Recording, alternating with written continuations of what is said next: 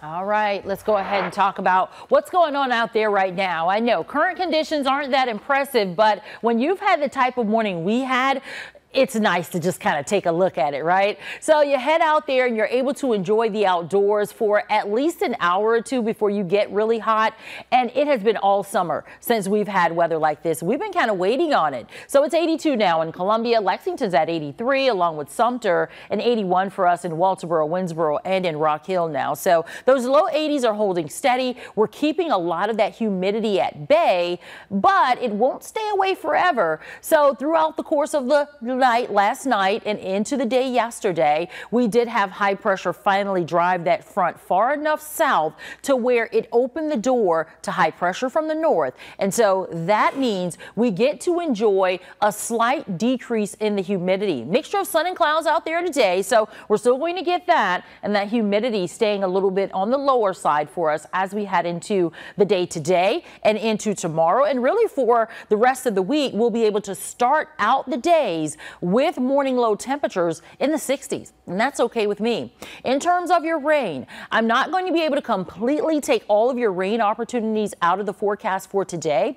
There is a chance once we get to the heating of the day where you could possibly see maybe about a 20% chance of a stray shower or sprinkle, but that's it. Once we're done with maybe that stray shower or sprinkle, let's say about 4 to 5 o'clock, we're taking it out of the forecast for the rest of the week. It has been several weeks since we've been able to end the week without having rain chances on the board. Rain chances do ramp back up over the weekend, though, as some of that energy begins to lift back to the north. That chance is at 30% for your Saturday and your Sunday, and then 20% as we head into next week, Monday and Tuesday. All right, so let's talk about it. We've got ourselves another hurricane. Name Ernesto, category one status now, well to the north of Puerto Rico. I'd say it's basically in between Hispaniola and Puerto Rico and lifting up to the northwest. Let me give you some more information. It's a category one, expected to remain a category one as it takes that all important right turn, which will keep it away from the U.S., away from the Caribbean. At best, the biggest issue that we could possibly see would be some higher waves, higher surf, because let's remember, here we are looking at it moving over Bermuda as a category two hurricane, winds of 105 to 115 miles per hour. That'll mean it's about a thousand miles or so offshore. So therefore, you could certainly get some high energy, some high waves, rough surf.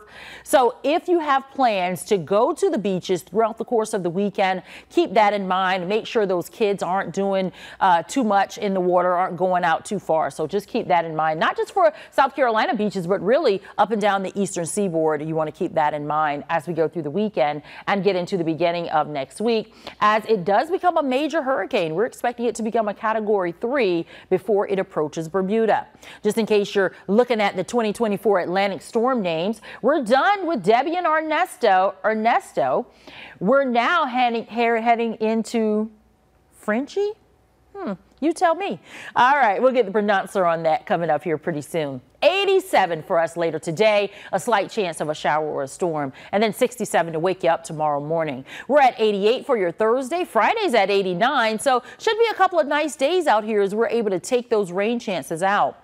We're in the low 90s as we head through your weekend, tracking about a 30% chance of showers, upper 80s for us heading back to school and work as we head into next Monday and Tuesday with just a slight chance of late day showers and storms.